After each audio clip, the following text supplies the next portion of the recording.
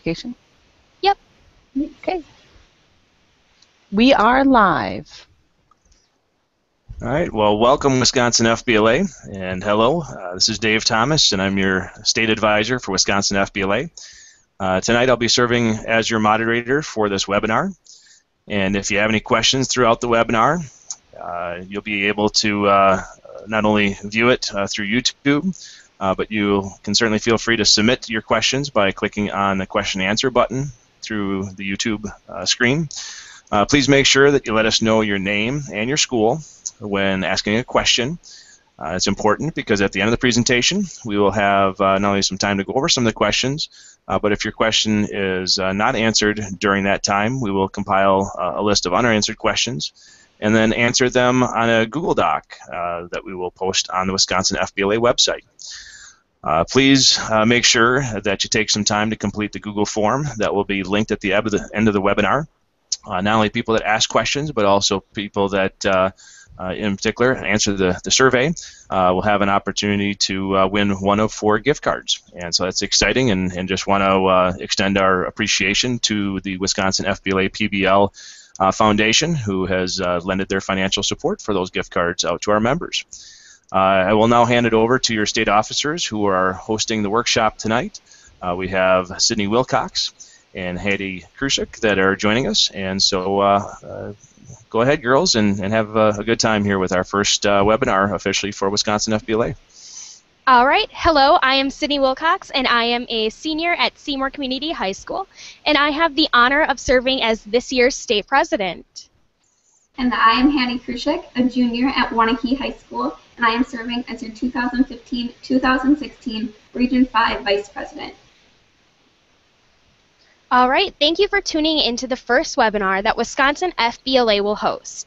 We hope that these webinars will increase the communication between our state officers and our local chapters and members.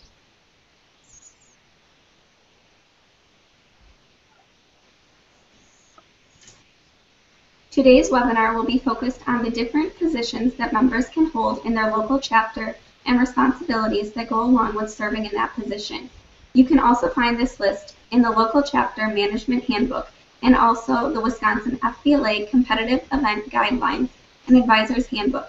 The second half will be focused on back to school activities to kickstart your local chapter's school year. Sydney will now start off with the first position. Thank you, Hattie. The first position is the president.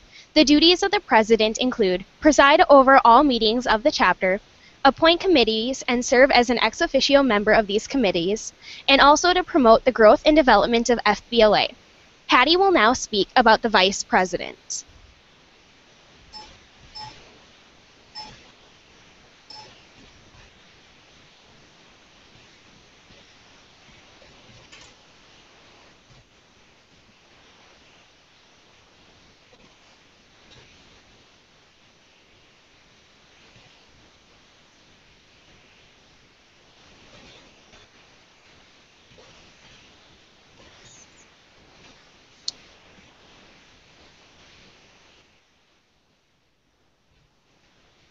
The Vice President is the next position in succession. Your duties as the Vice President of your local FBLA chapter include preside in the absence of the President and to also assist the President.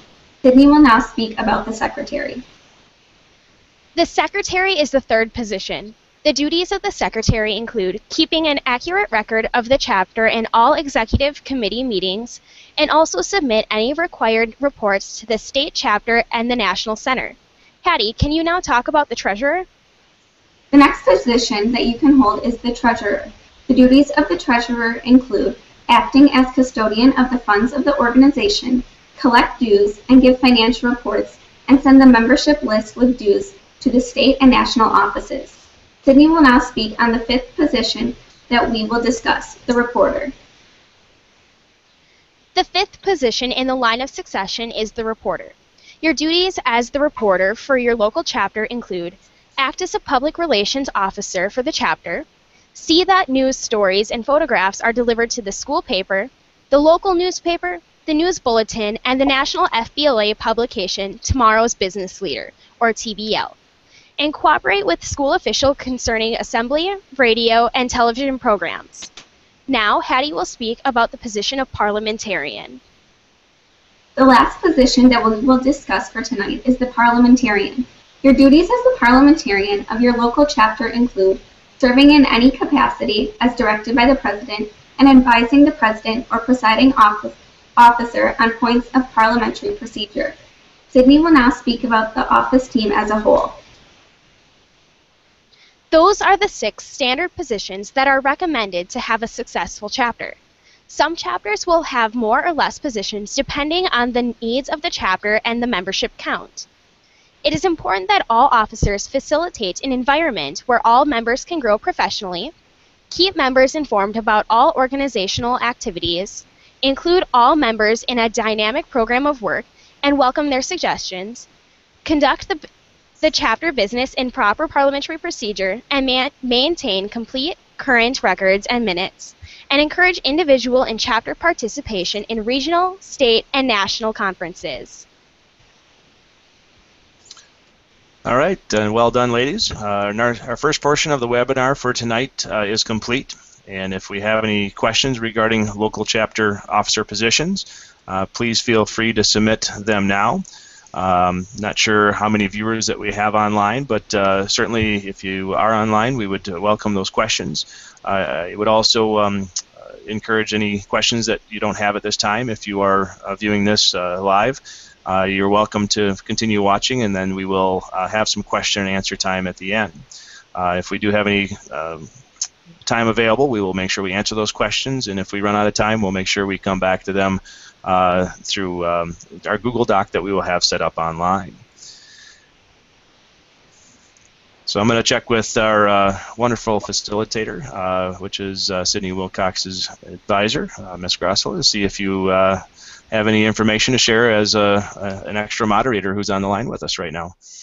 Thank you, Dave. Um, just going ahead and taking a looking, and we've had um, at various points up to eight different viewers going ahead and viewing our webinar tonight, so I think that's a great success for a shout out for Wisconsin FBLA.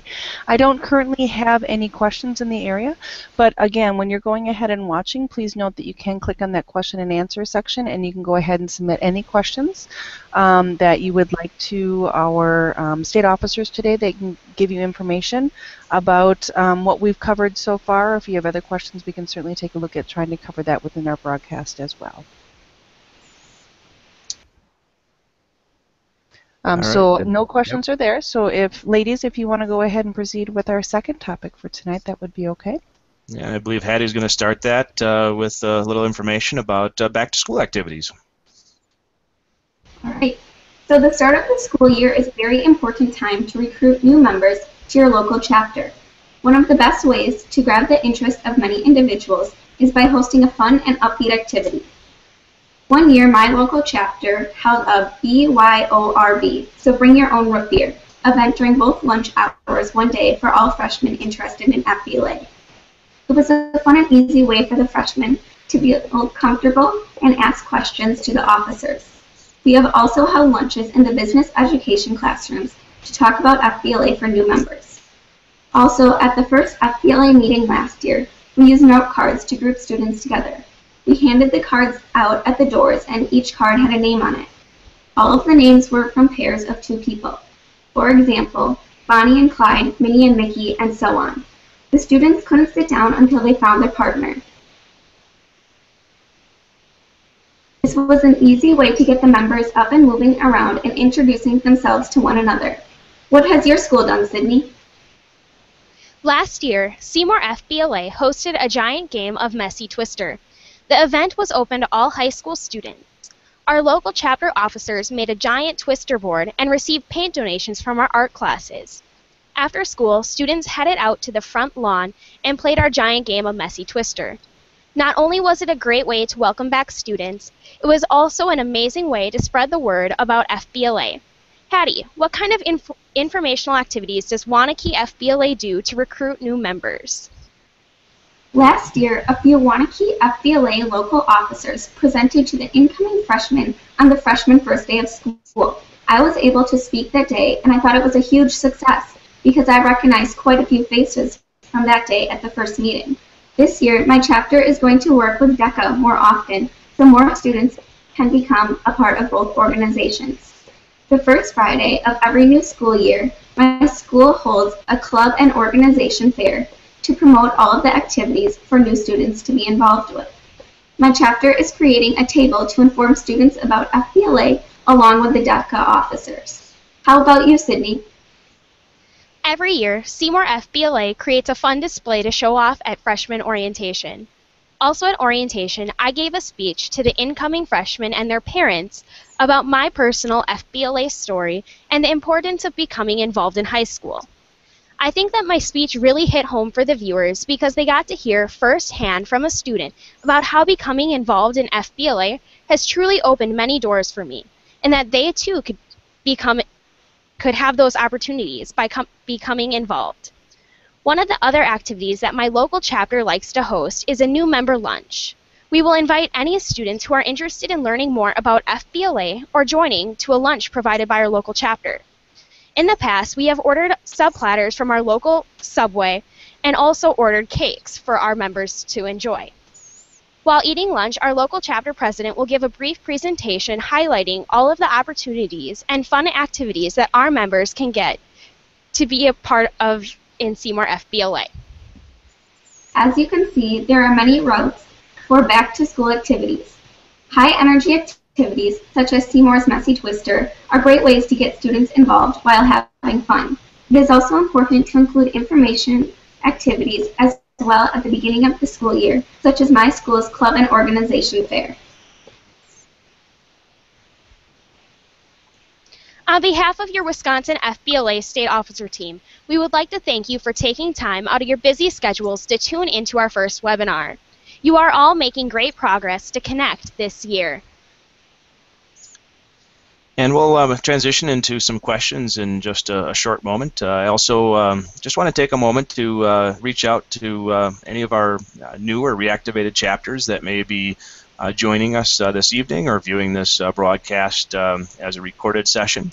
I would, in particular, for our new and reactivated chapters, we're continuing a program as an initiative for, for Wisconsin FBLA, again with support from our Wisconsin FBLA PBL Foundation, that any newer reactivated chapters that register 10 members will have the opportunity to uh, receive $100 from our foundation. And so the key part for our new and reactivated chapters are to uh, make sure that you activate your chapter and then again register your members through the national uh, membership database system.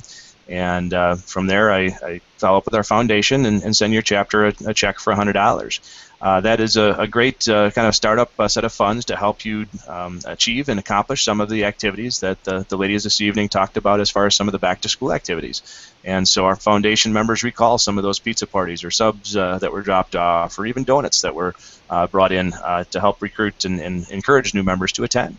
so very excited to again continue that initiative. So we'll take a moment for some additional questions at this point in time. I know that um, we have had a few viewers online. And uh, any questions in regards to local chapter officer positions or back to school activities are certainly welcome at this point. So I will kind of defer back to uh, Ms. Grassel and, and, see if there's uh, any questions that have come in at this time. I am pleased to say that we do have uh, a question from uh, one of our viewers today. Uh, the viewer is from Oconto Falls, and the question that they have for our officer team is says, um, what about an events coordinator or fundraising chair? Are these officer positions that a local chapter officer could potentially have?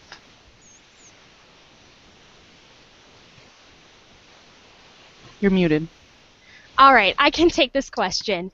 So like I said earlier, some chapters will have more or less officer pos positions depending on their needs. So like my chapter has a community service officer. So they're in charge of all of our community service events that we will participate in throughout the year.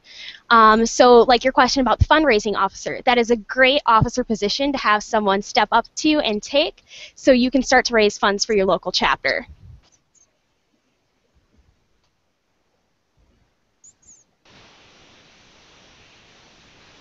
That is currently the one question that we do have available to us uh, in the question and answer session. We are certainly going to be able to stay on here and, and see if we have any other of our, of our viewers that are going to be interested in um, submitting some question to us either about officer roles um, officer training or anything they may have that may come up, um, or anything about recruiting our new members for getting them excited and involved with FBLA. Um, but right now we don't have any other questions. Um, Sydney, do you want to refer back to our surveys just to give us some ideas of what we can do for this survey? And um, then we can see if more questions come in before we leave.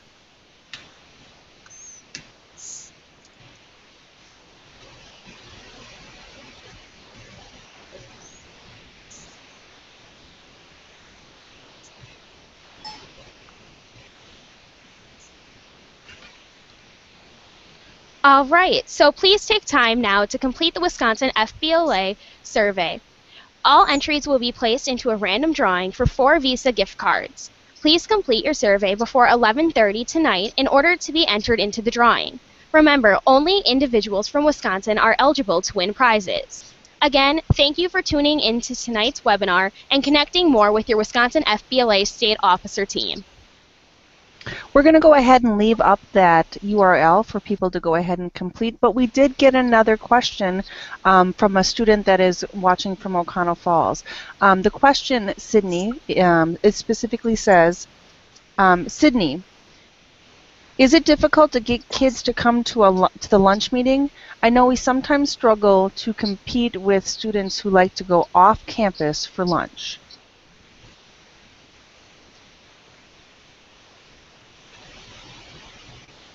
Okay, so one thing that my school likes to do, or our chapter, we like to advertise it in advance and hang it up in the hallway on lockers and above lockers as well. So just kind of grabbing in students and saying like, hey, yeah, we're going to have Subway subs so you don't have to go spend money on your lunch as well. And we plus we'll have ice cream cake as well. So great for all of you people with sweet tooths. And I'll also uh, sh- share, uh, kind of looking back to some of my um, experiences as a local chapter advisor in the Madison area. Uh, many times we had businesses that were willing to um, provide a lunch for our FBLA members and, and help support our, our members. So for those students that uh, wanted to go off campus, uh, oftentimes uh, we would um, work with a Noodles and Company or an Applebee's, some promos, I guess, for a couple companies that were very gracious to us uh, again to host our FBLA, FBLA members to come out and, and kind of have some of those new orientation meetings. And oftentimes we saw other students that were at those locations and suddenly they wanted to come over and see what was going on. Great. I don't know, um, Hattie, if you have any experience with Open Campus in Waunakee. Yes. So at my chapter, we would announce it over the loudspeaker the week of the event so students could hear it while they were supposed to be quiet during class. So that really did bring in a lot more students because they were required to hear it and not just read it off of the lockers as well.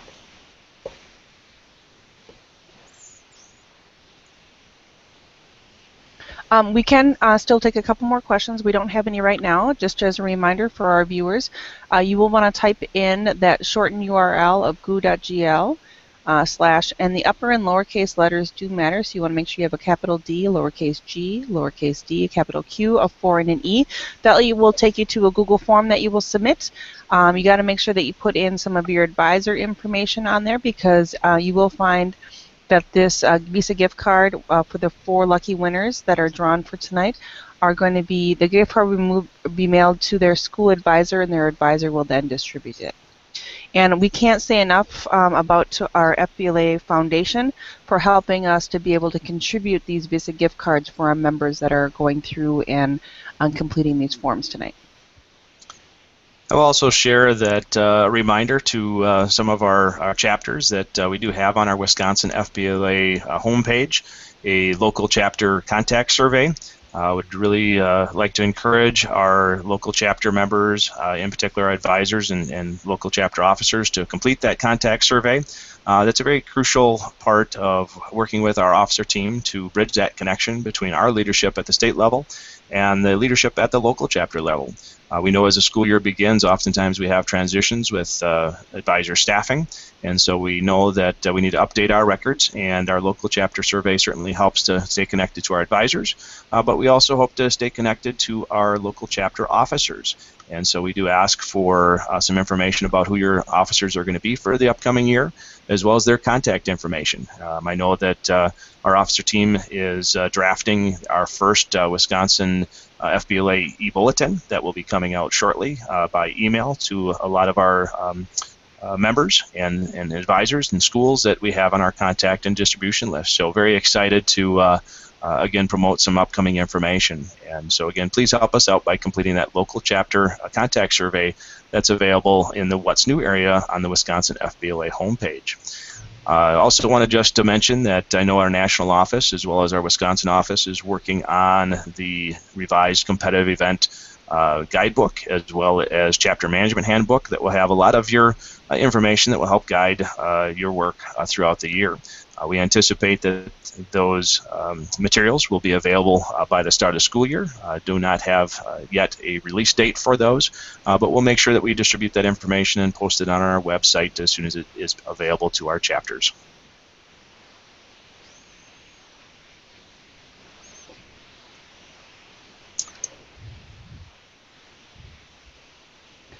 Taking a look, um, I just wanted to let the rest of our um, team know that we uh, do not currently have any additional questions in our question and answer session, um, but this is going to be the layout and format for all of our webinars that we do have planned for this school year. Uh, Sid, can you tell us the, the planned expectation schedule of our webinars for the rest of the school year? Yes, I can. So our next one will be in October. And the topic will be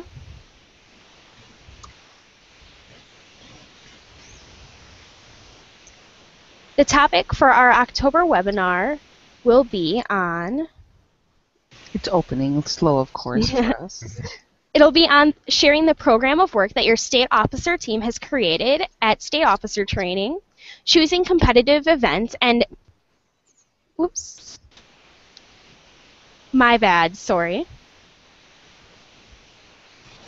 Actually, the October webinar is on the Business Achievement Awards and running for state or national office. So that is a great webinar for members to tune in and learn more about the BAAs and what it's all about, and also to get some tips and tricks from people who have run for state office before. Our December webinar is on choosing competitive events and also how to prepare for those events. And then our February webinar the date is still up in the air, but it will be on the March of Dimes and a reminder about recognition awards that you can earn at our state leadership conference in April in La Crosse. So things like Who's Who, Outstanding Advisor, Outstanding Chapter, Gold Seal, all of that. And then in March, our last webinar for the year will be on preparation for SLC in La Crosse, and then the opportunities that are available after FBLA for our college students that'll be there that are available in PBL. We do have some exciting events that are also coming up on our Wisconsin FBLA calendar, so we certainly encourage our chapters to not only uh, connect with us on our webinars, but also hopefully uh, come visit and, and meet our officer team and, and work on uh, your chapter development and, and your membership growth over the, the course of the fall. Our officer teams will be present at the Fall Leadership Labs that will be held in three different locations around the state of Wisconsin. Uh, our officer teams will be uh, located, uh, those the Fall Leadership Labs will be uh, located in Madison on October 14th. Uh, we'll be in Eau Claire on October 15th. We'll travel over to Appleton on October 16th. And so those one-day leadership labs are an oppor- a great opportunity uh, for a lot of our membership who are um, at that very entry level, uh, learning more about FBLA opportunities that exist within FBLA. Uh, I know our officer team has been working on workshop development, and we'll have a, a fantastic keynote speaker uh, that will be present for those events. Uh, we will also um, continue uh, our fall conferencing um, activities and events. Uh, as we transition on to November, uh, we have a Wisconsin FBLA Fall Leadership Conference, which is actually a two-day event on November 16th and 17th. Uh, we will be uh, hosting that event at the Madison Marriott West, and so uh, we are excited to have a, a, number of activities that will be uh, available to our members in attendance. we will have a variety of tours that will be highlighted in the Madison area. Uh, so a great opportunity for your students to come and explore some of our top uh, business uh, and IT uh, um, industries that uh, are welcoming of our students to come and explore the career opportunities that exist. And, and certainly you have a lot of leadership activities and, and uh, engagement activities for our members uh, to really pursue uh, all the experiences and opportunities available through Wisconsin FBLA. Uh, it's a great opportunity for our members to launch their their year and uh, set themselves up for success as they continue on into the spring season. So with that, uh, I certainly want to extend some appreciation out to our fantastic officers who launched this first experience for Wisconsin FBLA. Definitely a, a landmark uh, opportunity. And so uh, I'm going to extend to everybody that's out there listening, uh, give the ladies a, a, hand of applause and, and well done.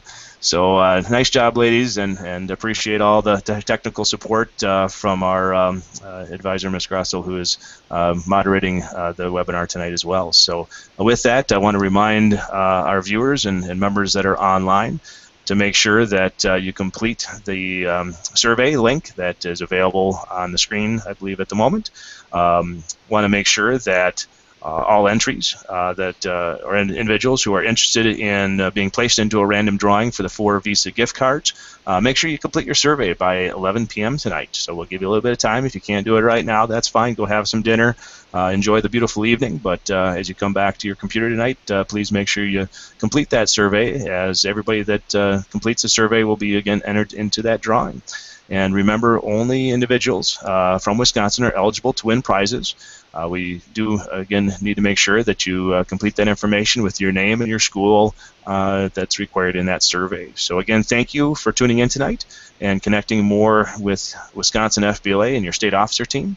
Uh, any final comments?